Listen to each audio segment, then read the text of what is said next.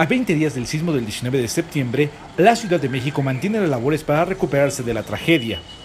En la zona cero de las colonias afectadas, el panorama aún es desolador, pues los edificios colapsados muestran la huella que dejó el terremoto de 7.1 grados. Los inmuebles en Roma Norte, Hipódromo y del Valle son ejemplo de las labores de remoción de escombros y en algunos casos se mantiene la demolición.